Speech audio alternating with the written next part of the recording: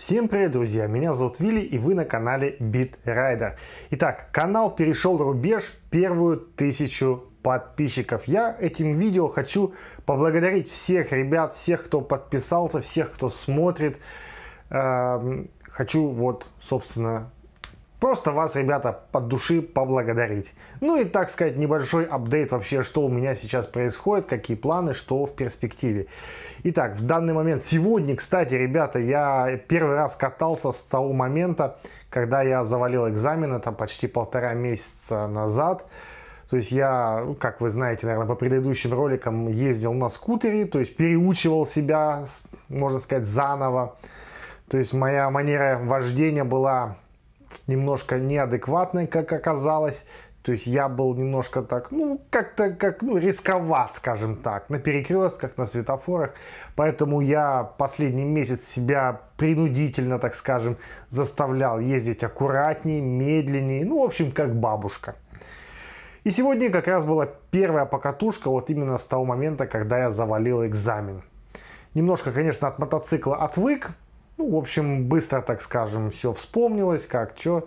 Но по сравнению со скутером немножко было не то, потому что на скутере я этот, ездил этот маршрут уже, скажем так, 20 э, раз, если не больше, уже каждый знак знаю. Но сегодня повел меня инструктор немножко другим маршрутом. Ну, то есть он знал, да, что я катался, соответственно, он меня повел по тем маршрутам, куда я, в принципе, не ездил. Это тоже было очень хорошо и полезно скажем так.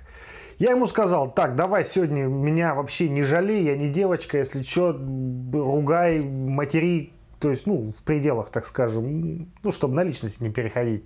Тут базаров нет, все сделаем. Ну и, в принципе, сегодня я получил от него следующую критику. Ездишь как бабушка. Я действительно старался ездить осторожно, медленно, лучше 10 раз посмотрю, убедиться в одном месте, да, накосячил так. Ну, в целом, в целом, я его потом спросил, говорю, слушай, ну вот если бы я вот точно так же, как сегодня, два часа мы с тобой катались, точно так же ездил бы на экзамене, я бы его сдал, тут, говорит, сдал бы. То есть, ну вот, в принципе, что я хотел услышать. Послезавтра у нас еще одна покатушка, заедем на площадку, немножко потренируемся тоже.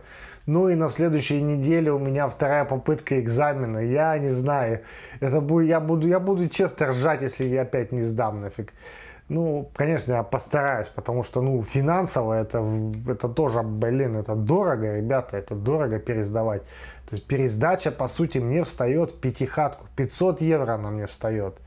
То есть вот эти дополнительные две покатушки, плюс экзамен, плюс пошлина, в общем, все эти дела дорого. Поэтому надо постараться. Да, и мне уже из магазина звонил этот продавец, говорит, ну что ты уже, когда мотоцикл-то забирать будешь? Я ему говорю, скоро-скоро потерпеть. Тут, ну ладно, говорит, как там все будет, ты позвони, ну, в, при любом раскладе я сделаю.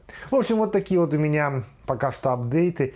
В случае, если, ну, я как бы загадывать сейчас не буду, потому что я как вот в прошлом, в прошлый раз как-то загадал, распланировал там поездки, путешествия, и видите, как получилось, что вот э, не получилось. Поэтому в этот раз я лучше загадывать не буду, как будет, так будет. Ну, не получится со второго раза, получится с третьего раза. Рано или поздно я эти права сделаю. Так что, ребята, еще раз всех благодарю, всем вам спасибо за подписку, за поддержку. Э, очень приятно. Так что в следующий рубеж у нас, я думаю, будет 10 тысяч. То есть тысячу мы сейчас достигли. Э, потом будет 10 тысяч, потом будет 100 тысяч, потом будет, наверное, миллион. Как, как говорится. Ладно, ребята, все, не буду я вас утомлять своей болтовней. В общем, еще раз спасибо. Я с вами. До новых встреч.